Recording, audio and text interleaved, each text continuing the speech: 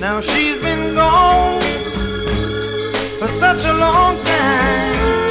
Since she's been gone, she's been on my mind. I got a letter today, just about noon. She said, Don't worry, I'll be home soon. Every day, oh yeah, will be like a holiday. Oh, yes, it will.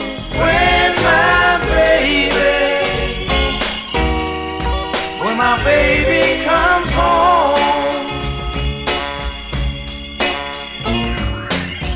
I'll never have to worry about